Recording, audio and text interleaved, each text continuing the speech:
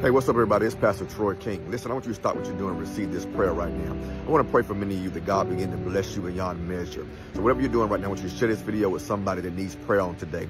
Father, in the name of Jesus, I pray for everybody that is tuned in right now to this moment of prayer.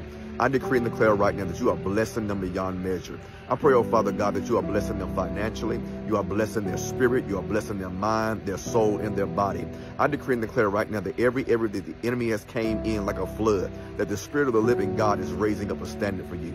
I decree and declare right now that God is favoring you with his blessings, favoring you with his peace, and favoring you with his prosperity. I decree and declare right now that your body is healed, your mind is healed, your family is healed, your business is healed, whatever area of your life that the enemy has brought infirmity, that the enemy has brought pain, I decree and declare right now that God is healing that area of your life. And so I decree and declare major blessings into your life today, that God will begin to bless you beyond measure, that God will begin to expand your capacity for more. I decree and declare right now that more is coming into your life, more is coming to your hands, more is coming into your businesses. I decree and declare right now increase upon every area of your life where you have been experiencing a low place in your life. I decree and declare right now that God is moving you from your low place to your high place. This will not be a season for you where you are frustrated, where you are disappointed in life, but you're going to begin to rejoice in the promises of God, rejoice in the favor of God, and rejoice in the blessings of God. And so I release that blessing upon you right now in the name of Jesus.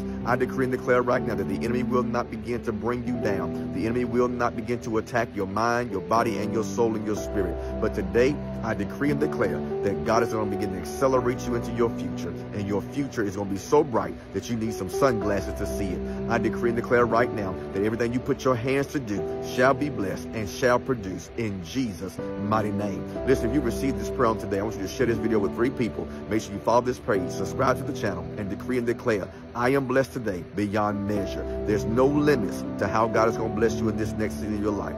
God says, I'm taking the limits off for you. Come on, decree and declare that in the comment section. Put it in the chat. God is taking the limits off. There's no limits to my blessings, no limits to my breakthrough, and I'm going to see it come to pass in Jesus' mighty name. If you receive it today, share this video and decree and declare, I receive it in Jesus' name. My blessing beyond measure. God bless you.